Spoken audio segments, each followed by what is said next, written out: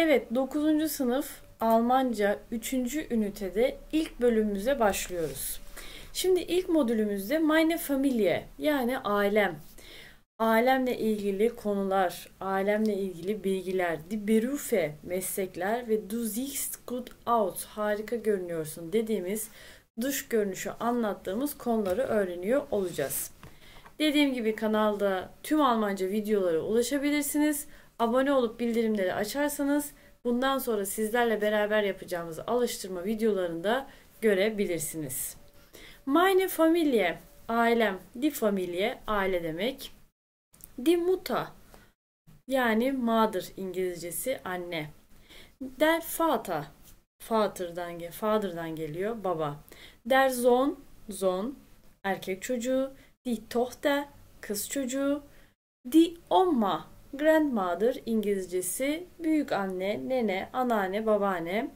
Das Baby, baby, bebek İngilizcesi tamamen aynı. Der Opa, grandfather yani büyük baba, dede anlamına gelmekte. Direkt bunun ekran görüntüsünü alarak çok rahatlıkla çekirdek aile konusunda çalışabilirsiniz.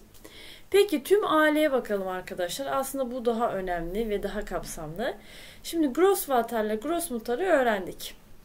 Benim büyük babam ve benim büyük annem diyorsak mein Großvater, meine Großmutter. Benim babam mein Vater, meine Mutter, benim annem. Mein Bruder, benim erkek kardeşim. Ich, ben. Meine Schwester, benim kız kardeşim. Yani tablonun e, sol tarafını bitirdik. Şimdi sağ tarafına bakalım. Mein Onkel, amca, dayı demek. İkisi için de kullanılmakta arkadaşlar. O yüzden kolay. Başka bir şey ezberlemenize gerek yok. Meine Tante, hala, yenge, teyze bunların hepsinin anlamına meine Tante gelir. Mein Cousin, erkekse mein Cousin diyoruz. Kızsa da meine Cousine, benim kuzenim, kız kuzenim anlamına geliyor.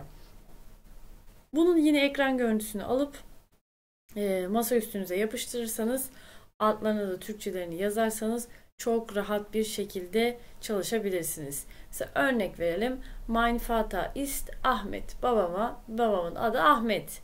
Meine Mutter ist Ayşe. Annem Ayşe. Mein Bruder ist Hasan. Erkek kardeşim Hasan. Meine Schwester ist Aliye. Kız kardeşim Aliye. Ich bin Deniz diyebilirsiniz.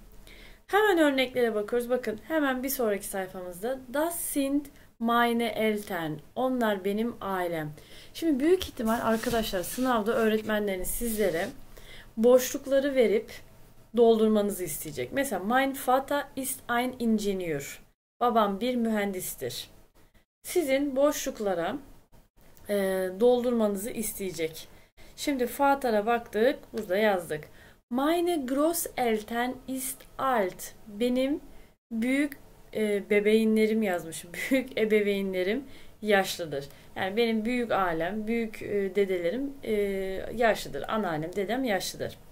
Ich habe eine Mutter und einen Vater. Bir annem ve bir babam var.